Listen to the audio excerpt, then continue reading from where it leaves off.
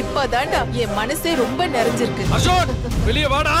எங்க அப்பா கஷ்டப்பட்டு சம்பாரிச்ச சொத்தை ஏமாத்தல நினைக்கிறியடா உன் சாவு என் கையில தான்டா.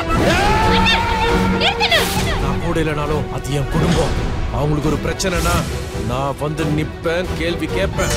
என்ன இங்க உட்காந்துருக்கீங்க என் நினைப்பே வரலையா உங்களுக்கு? நானே செத்தா போயிட்டேன். எல்லாம் கிளம்பி வாங்க போலாம். தக்க சமயத்தில் தன் குடும்பத்தை அரவணைக்கும் தமிழ்.